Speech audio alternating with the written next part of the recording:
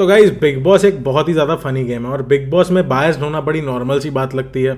लेकिन अगर मैं बात करूँ, ये जो तीन चेहरे आपको यहाँ पे दिखाई दे रहे हैं, मेरे अलावा इन तीनों के बारे में आज छोटी सी बात करेंगे, लेकिन तीनों के केस में एक चीज़ तो स्पष्ट हो गई है कि शिल्पा शिरोडकर जी कितना ज़बरदस्त दोगला गेम प्ले दिखा रही हैं बिग बॉस के अंदर।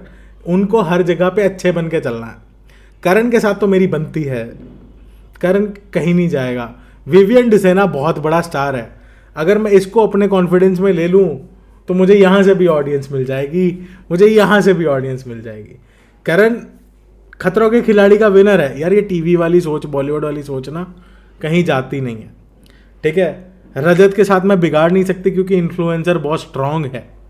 तो उनका ये वाला फंडा बड़ा सही जा रहा है। कहीं पे भी ये गलत प्रूव हो जाए पॉइंट प्रूव हो जाए, रोने बैठ जाती हैं।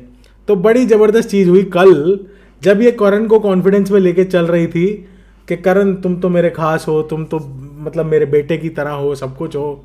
करण को टोटली साथ लेके चल रही थी, लेकिन विवियन के साथ इनका थोड़ा सा ना छत्तीस का आंकड़ा हो गया था, क्योंकि विवियन समझ गया था। अब इन्होंने विवियन को अपने कॉन्फिडेंस में लेने के चक्कर में just to prove a point शायद just to prove a point कि मैं बहुत फेयर हूँ, मैं अनफेयर नहीं हूँ इस पॉइंट को प्रूव करने के लिए। हालाँकि कल के टास्क के अंदर चुम वॉज़ टू डिसाइड कि किस युवराज को वो चुनती हैं दोनों में से।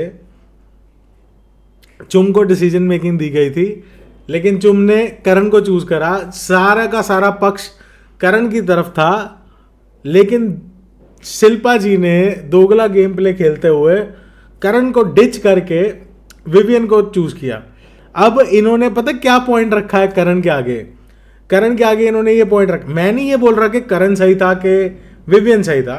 लेकिन मैं सिर्फ़ साइड लेने की बात कर रहा हूँ। इन्होंने सिर्फ़ विवियन को खुश करने के लिए जिता दिया। टाइम गॉड बना दिया। लेकिन आयरनी पता किस चीज़ पे थी? आयरनी ये थी कि करणवीर मेहरा को इन्होंने बड़े अच्छे तरीके से बेवकूफ़ बनाने की कोशिश करी बाद में ये बोल के कि मैं तो देखना चाहती हूँ, ये कहता रहता है कि कितना फेयर हूँ मैं। मैं देखना चाहती हूँ ये कितना फेयर है। तो ये चीज़ हमें कल के बिग बॉस में देखने को मिली। आपके क्या विचार हैं कि दोगली शिल्पा जी की दोगली गेम या दोगली कहानी कब तक चलती रहेगी? कृपया करके मुझे बिग बॉस के अगले एपिसोड तक ज़रूर बताएँ। मैं जानना चाहूँगा आपकी क्या राय है। क्या ये दोगली महारानी बिग बॉस के अंत तक टिक पाएगी? हाँ वैसे तो कॉन्ट्रैक्ट मिला होगा मिनिमम गारंटी वाला बट क्या आपको लगता है कि ये बिग बॉस के फिनाले तक टिक पाएँगी? दैट्स द बिग इशू तो लाइक करो शेयर करो सब्सक्राइब करो एंड मैं मिलता हूँ आपसे अगली वीडियो में। मेरे तो विचार ही हिल गए हैं भाई सोच समझ के, कि क्या चल रहा है फ़िलहाल के लिए। एंड आयरॉनिकली शिल्पका जी की गेम दोगली है। मुझे तो दोगलापन लग रहा है, बाकी आपके क्या विचार हैं? कमेंट्स में ज़रूर बताना। जय हिंद।